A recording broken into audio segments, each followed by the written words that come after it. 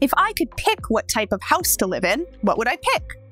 I think right now I would love to have a flat or a condo in London, or if I'm dreaming, a townhouse, a semi detached house in London. Um, I think that that would be perfect for me, but I also think it could be really nice to live in a cabin in the woods somewhere. I have some family that live out in the middle of nowhere, like truly there's nobody around, and it's very peaceful and nice to be close to nature. And I also think it would be kind of fun to live in a castle or a palace. I think I would really have fun with that. I think I would enjoy looking after the property and how old it, everything was and running it. I think that would be something that would be fun for me.